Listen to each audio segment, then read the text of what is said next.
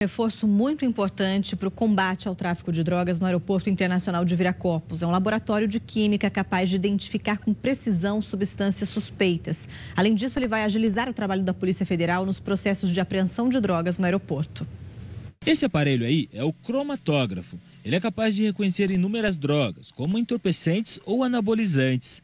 Ele também consegue identificar substâncias que mal chegaram no Brasil e que os policiais federais ainda nem conhecem a amostra já estando preparada para ser lida por este equipamento, ela é injetada no cromatógrafo e aí, ao, ao final, ele consegue identificar, ele gera um gráfico desta substância e compara com uma biblioteca de substâncias conhecidas, com a biblioteca de gráficos dessas substâncias que está na memória do equipamento.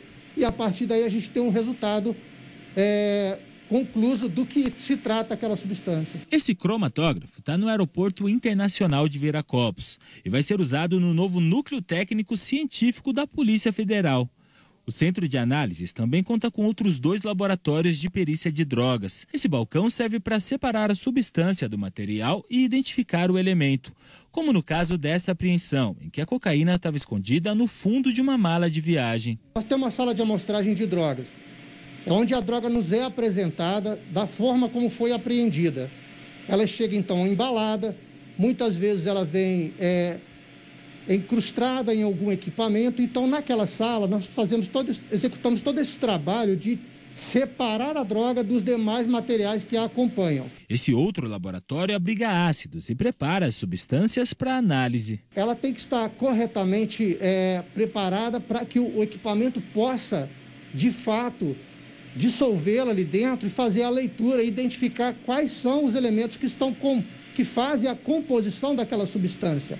Então, muitas vezes nós temos que diluí-la em algum, em algum ácido, muitas vezes transformar de ácido para base e vice-versa às vezes do, do, estado líquido para o estado sólido. Todo esse trabalho é feito na sala de vias úmidas. Hoje, dependendo da substância, o material precisa ser encaminhado para São Paulo ou Brasília e até voltar demora em média 30 dias. Depois que o núcleo for inaugurado, essa análise vai ser feita aqui no laboratório da Polícia Federal de Campinas e o resultado pode sair no mesmo dia. Nós estamos centralizando agora, na, após a finalização da, dessa fase de testes, toda a produção de, de, exames químicos forenses será realizada aqui no aeroporto de Viracopos, nesse novo laboratório. O núcleo técnico científico também vai poder analisar documentos suspeitos por meio desse equipamento que funciona como se fosse um scanner. Nós temos ali um equipamento que utiliza luzes e lentes especiais para que a gente possa inserir qualquer documento ali. Vamos pegar o exemplo mais prático, já que estamos falando de aeroporto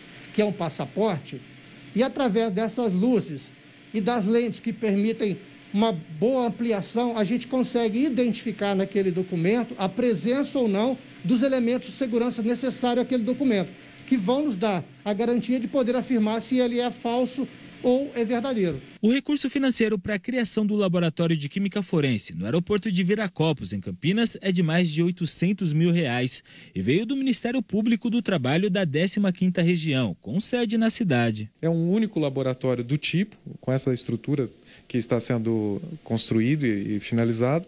E igual a este laboratório, com, com a estrutura para que se possa fazer exames iguais, só haveria em Guarulhos. O trabalho do laboratório forense vai permitir mais agilidade nas investigações e nos inquéritos da Polícia Federal. A gente poderá dar uma resposta mais rápida a esse tipo de situação aqui no aeroporto. O núcleo técnico ainda está recebendo os últimos equipamentos, mas a tendência é de que o número de exames, que no ano passado foi de 280, aumente consideravelmente. Em razão do isolamento social, nós tivemos que suspender as atividades finais, mas a construção já está pronta, nós já estamos na fase de instalação de equipamentos e até em fase de testes de algumas situações reais. Então, acreditamos que tão logo o isolamento termine, nós possamos terminar e inaugurar o laboratório, atingindo sua capacidade máxima de processamento de exames periciais.